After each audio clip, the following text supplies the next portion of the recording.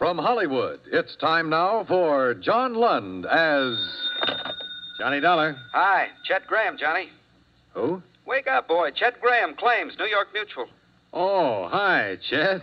How are things? Bad. Johnny, I have to make a little trip out to the coast on a phony claim. I'll be gone about four days, but I need someone to hold down my office while I'm away. Can you do it? Oh, that's not my line, Chet. You know that. Well, make it your line, Johnny. Somebody has to be here.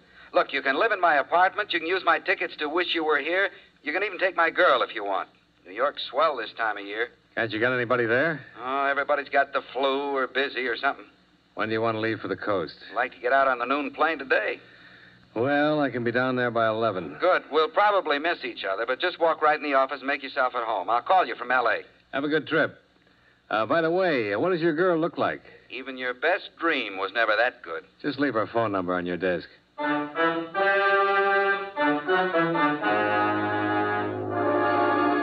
John Lund in a transcribed adventure of the man with the action packed expense account, America's fabulous freelance insurance investigator. Yours truly, Johnny Dollar.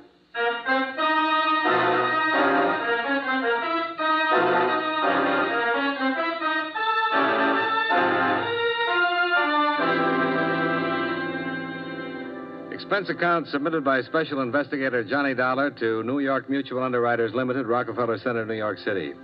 Attention, Mr. Chester Graham, claims and adjustments. Dear Chet, you probably read some of this in the Los Angeles papers, but they don't have the whole story. Maybe they'll never get it all. I hope not. I found out part of it, stumbled into the rest of it, and I'm trying to forget all of it. The following is an accounting of expenditures during your four day absence and my investigation of the James Clayton matter. Expense account item one $14.35 transportation Hartford to New York, where, as per your advice, I walked in your office, sat down, and made myself at home. And where, 15 minutes later, I had a caller. Mr. Dollar, is it? That's right? The girl at the reception desk said Mr. Graham was out of town and that you were taking his place. Yes. Please sit down. Well, thank you, but I don't have time. I'm Miss Stebbins, Dr. James Clayton's nurse. He asked me to see you. I see. He gave me these policy numbers. He said that your company wrote these policies and that he'd like to talk to one of you. Well, certainly, Miss Stebbins. He can come by any time. No, you don't understand. Dr. Clayton can't get away from the office. We're terribly rushed, and I really should be getting back myself. He's there all alone. Well, do you know what it's about, Miss Stebbins? I. No. The doctor's been acting strangely all day. He had me cancel all of his outside calls, and then he sent me here. He said to explain that it was very urgent. I'm. I'm very concerned for him.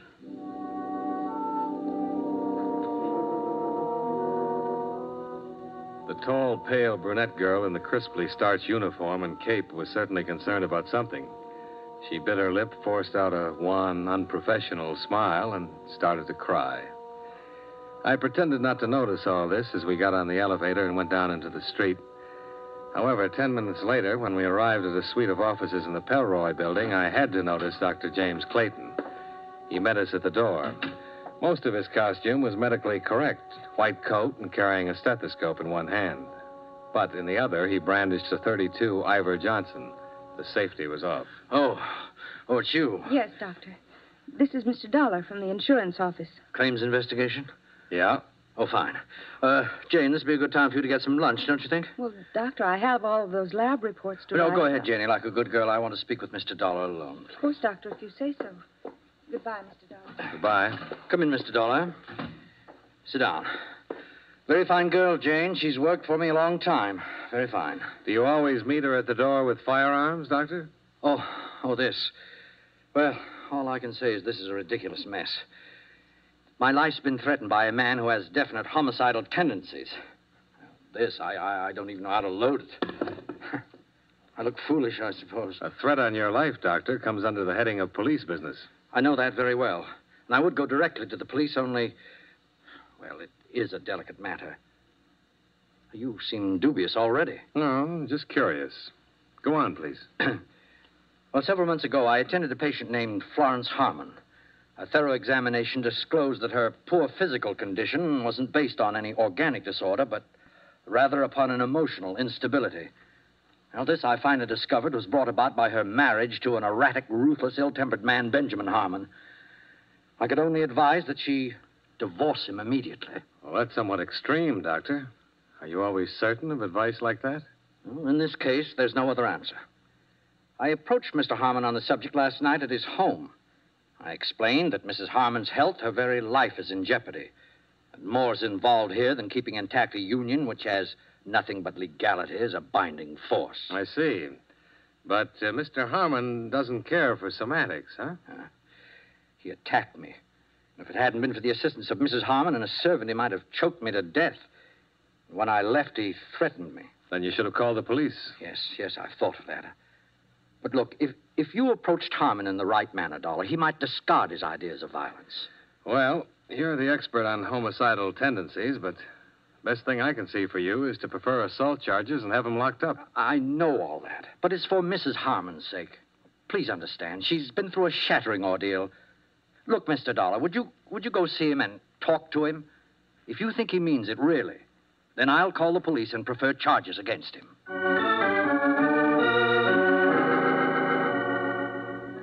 The Harmon residence was in Westchester, a story and a half colonial with all the trimmings. There was a 51 Cadillac in the open garage and a 52 Ford station wagon in front of the house. Yes? This one didn't have a white coat or stethoscope, but he had a gun. What is it? Mr. Harmon? I'm Harmon. What do you want? Mr. Harmon, my name is Dollar. And I'd like- Dollar, huh? Get out of my way! Oh!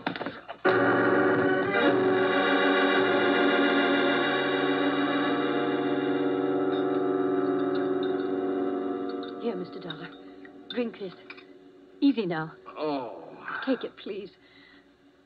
Oh, you had quite a blow. Try a little more. It should make you feel better.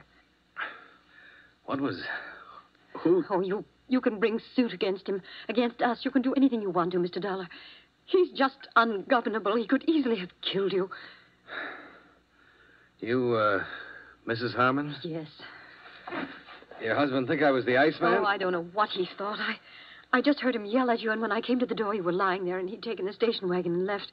Why, last night he even attacked my personal physician and threatened to kill him. I don't know what's gotten into him. You'd better sit down. Oh, it's getting better. Where'd he go? Heaven only knows. Mad. That's what he is, Mr. Dollar. Mad. He's liable to do anything. I'm I'm scared. I'm scared stiff.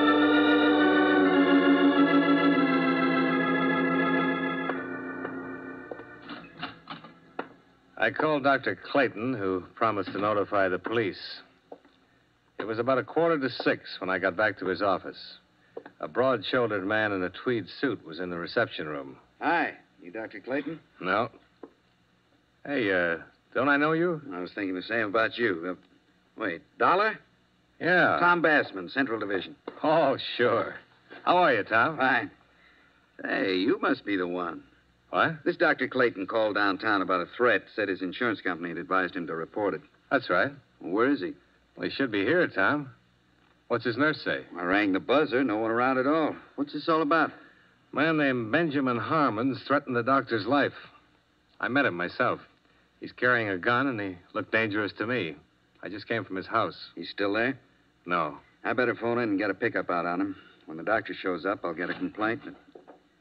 Oh, hello. Hello. Why, Mr. Dollar. Hello, Miss Stebbins. Is Dr. Clayton here? This is Sergeant Bassman. We want to see him ourselves. You're a police officer? That's right, miss. I heard him talking to you on the phone. Is anything the matter? Just want to see him. Well, goodness, he sent me out to pick up these things. He was here when I left. Oh, What? perhaps he had an emergency. Well, is there any way we can find out? Well, if he had one, it would be right here on the pad because I always have to know. Hmm. That's funny. What? He's on an emergency call, 1213 Alessandro Street. Can I see that, please? Uh-huh. There's no name on this, Miss Stebbins. Do you recognize the address at all? No, I don't. The doctor just wouldn't take a random emergency call unless it were very unusual. This might be unusual. Dollar, how bad off did you think Harmon was? Mad. Had a gun. Cracked me. Plenty rough. Well, this is in the warehouse district. Think we better go down there? I think so.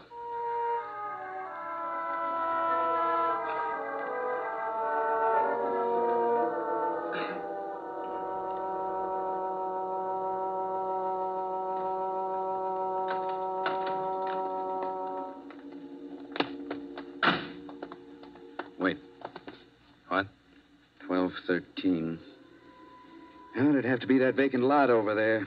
This one's 1240, and the rest belong to that warehouse. Yeah. Tom. Hmm? That car. MD on the license plate? Yeah. It might be Clayton's. Yeah.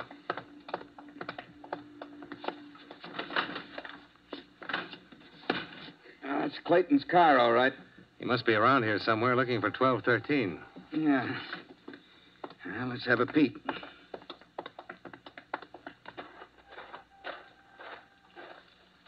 Tom.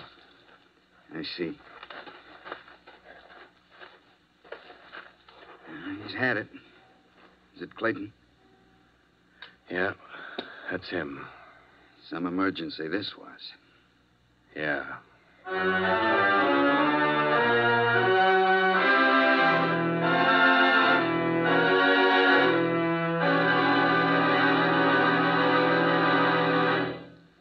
We'll return to yours truly, Johnny Dollar, in just a moment. On weekends, it seems everybody takes his car out on the highways. Some drivers are less experienced than others. They either speed or poke along with a whole stream of cars behind them. Both types are a menace to safety. Whatever you do, be moderate, be obedient to all traffic laws. Be careful, use your head, and don't take chances.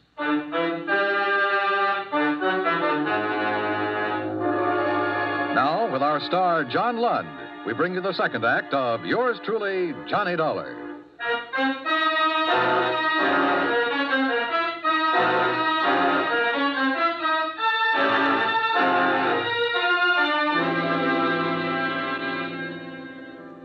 An hour of questioning in the neighborhood turned up two people who recalled hearing the shots.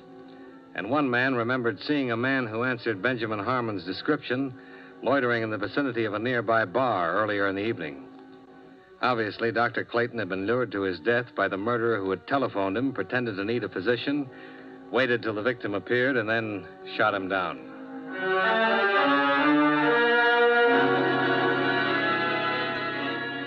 Expense account item three $11.65. A good dinner, three martinis, tip, and thinking at Toots Shor's. After which, I strolled over to the Pelroy building. Expense account item four $5 even. Bribed watchman. Uh, I shouldn't be doing this, you know. Might lose my job over it. I appreciate it. But since you're from the insurance company, I guess you're all right. Just looking around is all. Too bad about the doctor. Nice fellow. Very. What do you think you'll find? A policeman been here till almost an hour ago, poking around. You know if they found anything? Sure. Well, what? Doctor's emergency kit. Heard him say he didn't take it uh, with him when he went out on that emergency. Yeah, don't be too long.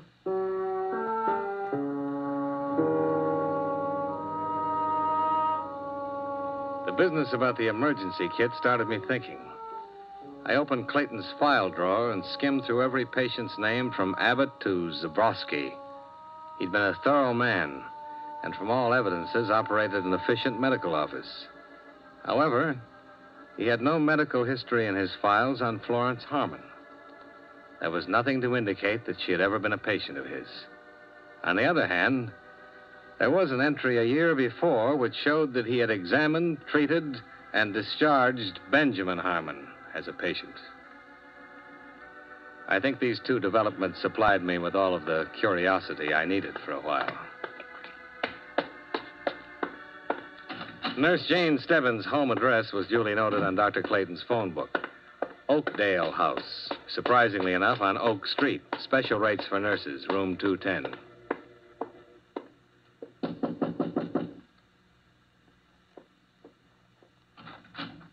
Oh, Mr. Dollar. How do you feel? Not too good, Mr. Dollar. I just got home a little while ago. They kept me down there pretty long. Do you want to come in? Thanks. I don't want to keep you up. It isn't much of a place, is it? I mean, I haven't straightened it up for days, it seems. I'm sorry. Things like this aren't easy. I know. Don't apologize to me. Sit down, Mr. Dollar. Have they caught Mr. Harmon yet? No, not yet. Uh, Miss Stebbins, you worked for Dr. Clayton a long while, didn't you? Five years. Then you should be able to tell me who he was going to marry. Mary? Well, I didn't know. I've no idea. He'd already made arrangements for a honeymoon. Honeymoon? Look, reservations on the Ile de France for next April. I found them in his desk drawer. Confirmed to Dr. and Mrs. James Clayton. Well, What difference does it make? I don't know. Seems strange that you've been with him for such a long time and didn't know about this. I. Or did you? All right. What about Mrs. Harmon? Well, Look, Miss Stebbins, things are wrong all the way down the line about your doctor's death, about what happened before it. It'll come out sooner or later. I suppose it will. It's awful to say this, Mr. Dollar, but Mrs. Harmon was the only one Dr. Clayton saw socially. And she, of course, is married. Of course. And the good doctor advised her to get a divorce. He met her when Mr. Harmon was a patient of his? Yes, that's right. They became friendly. But Mrs. Harmon was never a patient. No, never, just her husband. What can you tell me about Mr. Harmon? Well, really, all I know is he came in to see Dr. Clayton a few times. Over a year ago, I guess. Then after after he saw what was happening between Mrs. Harmon and Dr. Clayton, he stopped coming in. I sent a copy of his medical history to another doctor. But Dr. Clayton had been seeing Mrs. Harmon all this time. It's awful to say this now, Mr. Dollar. Doctor's dead. I'm no moralist. We're all human. It's happened before. Married people have been attracted by others. I'm tired, Mr. Dollar. Sure. Do you have any idea why I was called in today? At first, I didn't. I. Well, of course, it happened. The police told me about Mr. Harmon's threats. But I don't understand what you're trying to do. The police want Mr. Harmon, and what does it all mean? It means the wrong man was killed.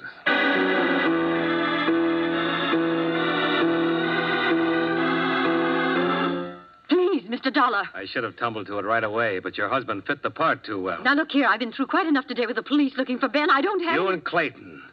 I was going to be the star witness when the state tried him for shooting your husband. Whatever I said as a material witness would back up his self defense plea and get him off on a justifiable homicide. Isn't that it? I tell you, I won't listen. and you and the doctor would sail to France and live happily ever after. What's the matter? Wouldn't your husband give you a divorce? You won't listen. Go ahead. If you say it's that way, Mr. Dollar, and you know everything, I know you know everything, then it must be that yeah, only it got fouled up. Your husband did shoot your doctor boyfriend after all. Get out of here. Get out of my house. You can't prove anything. You're right, Mrs. Harmon. I can't prove anything. Not a thing. They catch your husband and they'll put him away for it. But you have something to live with for the rest of your life. Or maybe you didn't really love your doctor after all. Get out!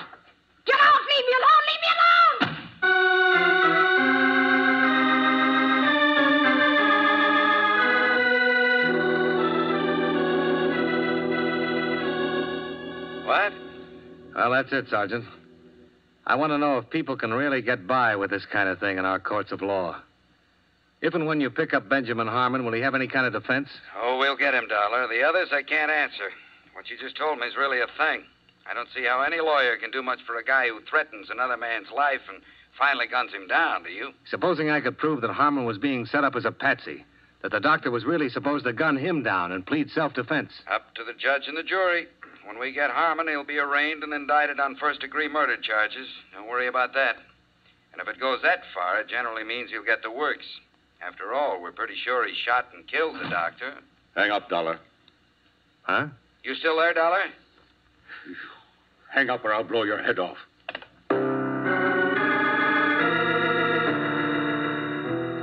Benjamin Harmon wasn't kidding. He was blazing mad. He had a gun, and I knew he wasn't afraid to use it.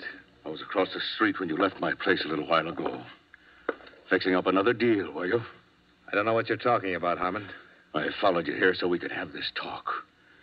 And we're going to have it, you and I. You ought to put that gun away and let them take you. They'll shoot you down if they see you. Nobody's going to shoot me down, not yet. Now, where's your office? Hartford, Connecticut. I mean, here. Where do you practice here? Come on. I don't practice anything here. My office is in Hartford. This apartment belongs to a friend of mine. I'm standing in for him here while he's out of town. Where's his office? New York Mutual Liability. I mean his law office. I want to get down there and see how much. Hold on now. I'm not a lawyer. My friend's not a lawyer. We're insurance investigators. Where's the office? I tell you, we. Listen. Clayton called me this morning and said a lawyer named Dollar was on his way over to talk to me about divorcing Florence. If you hadn't started swinging that gun butt around, I'd have told you why I was there. I think I know why Clayton called you and told you that, but I don't. You and he were trying to pull something to take my wife away from me. I know that much. You're wrong, Harmon. I didn't know anything about that. Nobody takes my wife away from me. Now, that's the kind of temper that got you in all the trouble you're in. Look, you can shoot me here and I'll be number two. But they'll get you real easy here. You know I didn't kill Clayton. How do I know you didn't kill him? You threatened him. Half a dozen people heard you threaten him. I have an idea why you did it, and you might have been right, but murder for any reason. Shut up! You're in on it somewhere. You know who did kill him, and you're going to clear me, or I'll whip it out of you, Dollar. I'll whip it out of you! Why, you crazy! You... Oh, oh.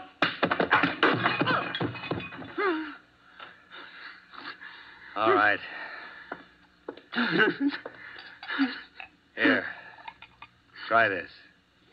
Go on. I'm tired of fooling with you. Now get on your feet. What? Well, you got one point in your favor. This gun hasn't been fired. Do you have another one? No. Here, take another drink. Now, you have a chance to talk to me right now. I don't think the police will be interested in much you have to say. I wanted to kill Clayton, but I didn't. I didn't. Nobody will believe that. I know I've got a temper, and I've tried to control it, but I didn't kill him. I'm not impressed with that.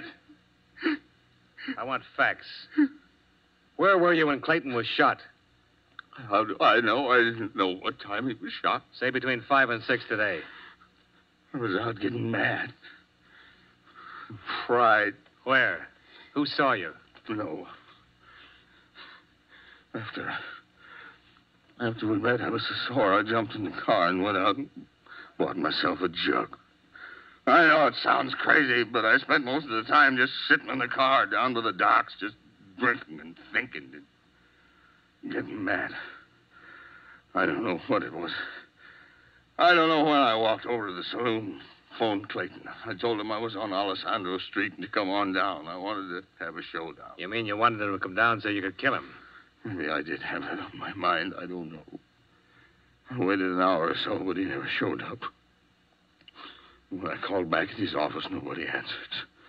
So I climbed back in my car, and that's where I heard about my being wanted for killing him. It was on the newscast. I didn't do it, Dollar. I swear I didn't. The others I knew about, and I didn't kill them. What others? Florence always had other friends. Guess I don't love her anymore, but I don't know. Maybe I hate her for all of it. When a man doesn't let part of his life walk away from him, I wouldn't give her a divorce. If I had let her get away with it, it would have been too much for me to hold. Even though. Even though you didn't love her and you knew she didn't love you? Yes, That sounds stupid. Maybe. I loved her once. She loved me the way two people only love at certain times. Hell, no sense yet. I'm not well, Dollar. Clayton gave me a year. Now the doctor, 18 months. Pernicious anemia. I- the two of them could have waited at least till I was dead, couldn't they? Couldn't they? Oh.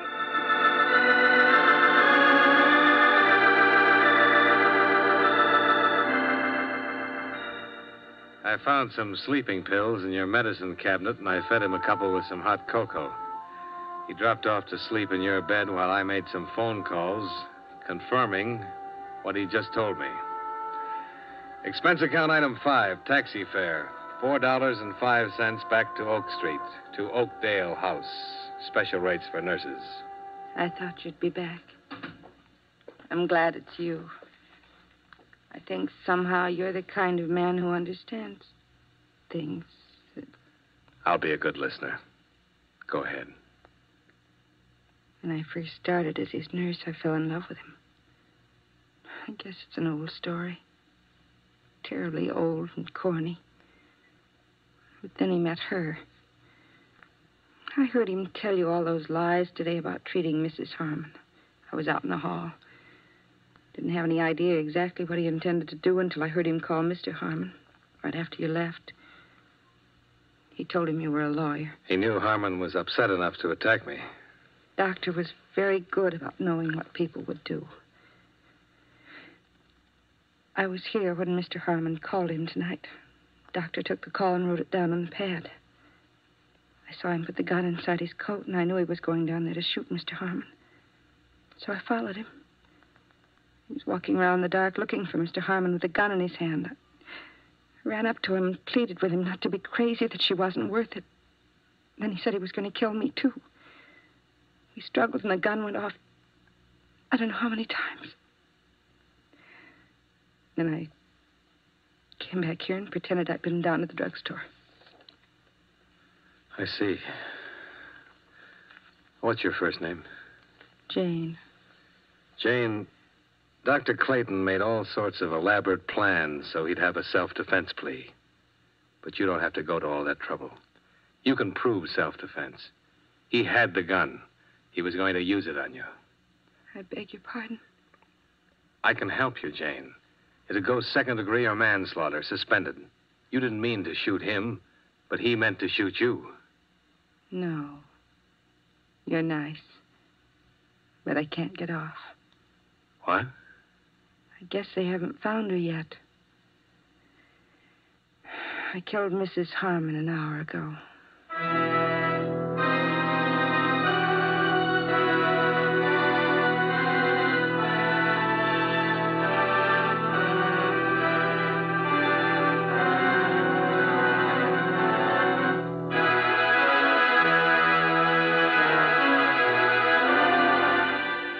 Expense account item six, same as one. Transportation back to Hartford. I didn't spend any other money, Chet. I didn't meet your girl, and I didn't see the musical. I didn't go anyplace. I just sat in your office and looked at the walls for the next three days. I'm leaving this where you'll see it when you come in tomorrow morning. Settle up and don't call me for a long time. A long, long time, if you call at all. Expense account total $56.35. Yours truly, Johnny Dollar.